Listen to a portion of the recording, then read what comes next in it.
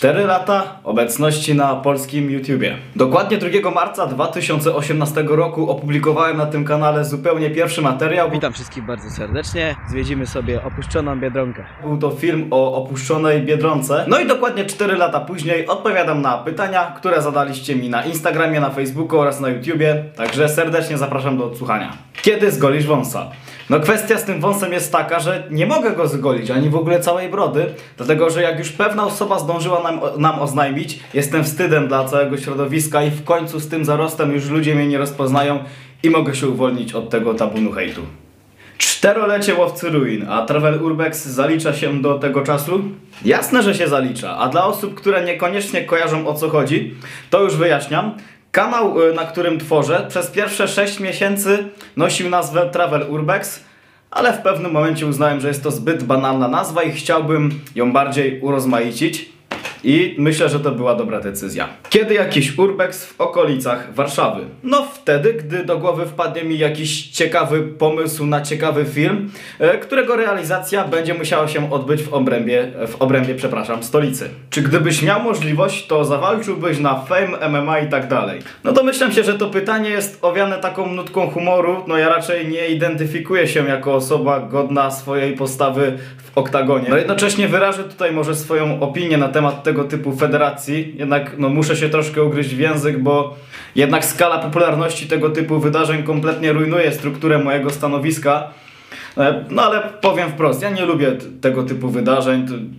Nie kojarzy mi się to zbyt pozytywnie. Także załóżmy, że skala mojej popularności kiedyś wzrośnie, ktoś rzuci rękawice wyzywając mnie do walki, stanowczo odmówię. Nieważne jak wysokie pieniądze będą za tym stały. Czy posiadam jakieś plany na nowe filmy niezwiązane z tematyką kanału? Raczej nie. Wprawdzie rodzą się w mojej głowie coraz bardziej nowatorskie pomysły, które rozgałęziają się na trochę inne obszary niż Urbex.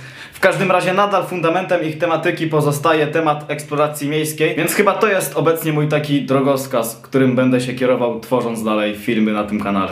Czy jako dziecko interesowało Cię to, co robisz dzisiaj? No na swój sposób tak. Wprawdzie mało opuszczonych miejsc zwiedzałem, ale pamiętam do dzisiaj, że mając około 8-10 lat, gdzieś z tyłu głowy krążyło mi takie marzenie, aby odnaleźć jakieś wielkie zarośla, może jakiś mały las, do którego postanowię zajrzeć i odnajdę tam taką starą, zniszczoną stację kolejową z pociągiem, no to pamiętam, że podobne rzeczy tkwiły mi w głowie.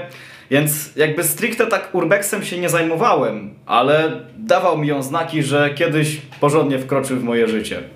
I bardzo dobrze. Co cię skłoniło do nagrywania i z jakich przyczyn zacząłeś robić to, co kochasz i czy kochasz to? Cała moja działalność na scenie polskiej eksploracji rozpoczęła się od tego, iż pewna grupa znajomych zechciała wspólnie ze mną założyć e, kanał o tematyce eksploracyjnej. Ja się z początku bardzo bałem, ale Poszliśmy na pierwszą, później na drugą eksplorację, no i jakoś tak wstroiłem się w ten klimat. Zainteresowałem się tym na taką skalę, że żaden z tych znajomych już dzisiaj kompletnie się tym nie zajmuje i zostałem w tym sam. No a czy to kocham? No myślę, że mogę tak sobie powiedzieć. Generalnie ja mam tak, że jestem człowiekiem wielu pasji. Ja się interesuję szeregiem e, wszelkich różnych rzeczy. I trudno mi tak pozycjonować, co ja wolę bardziej, co mniej, ale na pewno Urbex jest to, z czym chciałbym jeszcze na długie lata żyć. No I podoba mi się to, co robię. I myślę, że długo tak pozostanie. Tutaj mamy trzy pytania od jednego użytkownika. Pierwsze, kiedy planujesz wydanie kolejnej książki? Na przełomie maja i czerwca. Naprawdę. Nie wiem na ile będzie to możliwe, ale trzymajcie kciuki, bo robię wszystko, żeby na ten termin się wyrobić. Jakie jest Twoje marzenie, które chciałbyś zrealizować? No i to jest dla mnie dosyć problematyczna kwestia, gdyż w obrębie mojego kanału mam naprawdę bardzo dużo bardzo ciekawych planów. Natomiast są to na tyle spore rzeczy, że ja nie lubię takimi rzeczami chwalić się zanim dojdzie do ich realizacji, więc y, pochwaliłbym się jakie mam pomysły, ale pozostawię Was jeszcze w niepewności. Czy planujesz w przyszłości nagrać filmy z mniej znanymi twórcami, czy bardziej wolisz ze znanymi?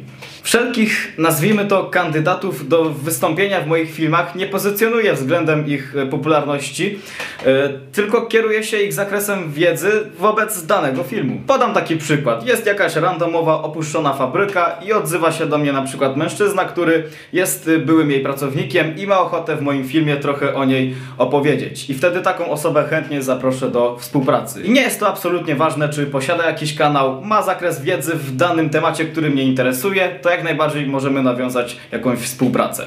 Także jeżeli znasz jakieś ciekawe, opuszczone miejsce, którego historia nie jest Ci obca i chciałbyś o nim opowiedzieć w moim filmie, to serdecznie zapraszam do prywatnej wiadomości. I nie jest to naprawdę istotne, czy masz 10 milionów subskrypcji, czy nawet nie wiesz jak internet obsłużyć. Co najbardziej lubisz w opuszczonych miejscach?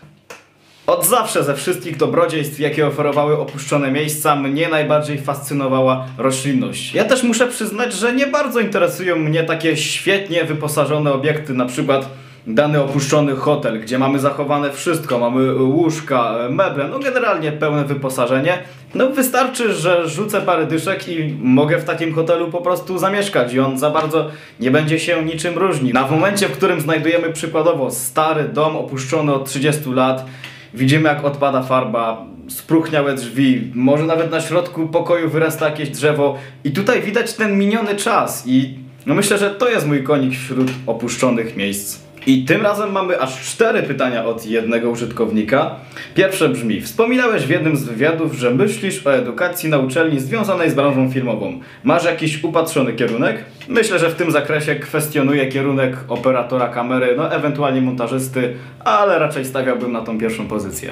Czy rozpocząłeś już pracę nad drugą książką? No to już nawet w 2021 roku. Jakimi kryteriami kierujesz się wybierając obiekt do swoich produkcji? Myślę, że na ten moment przede wszystkim stawiam na ciekawą historię obiektu.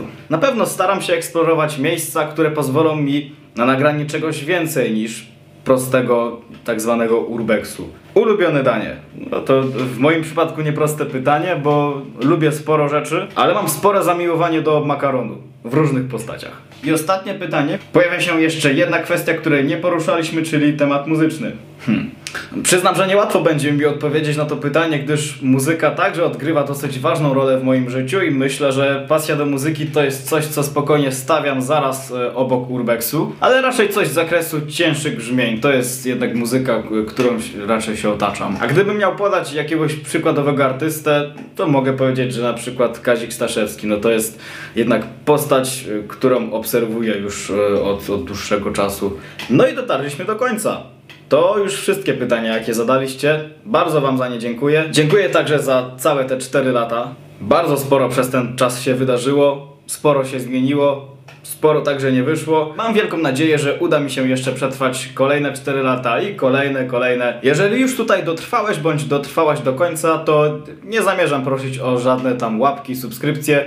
Tylko chciałbym poinformować, że z przyczyn niezależnych znikam do czerwca. W czerwcu wrócę z bardzo fajnymi projektami i to nie tylko filmowymi. Są to przede wszystkim rzeczy, które jeszcze na polskiej scenie urbexu się nie pojawiły, także na pewno warto wyczekiwać. Trzymajcie kciuki, aby wszystko się powiodło, a na pewno Was nie zawiodę. Do zobaczenia!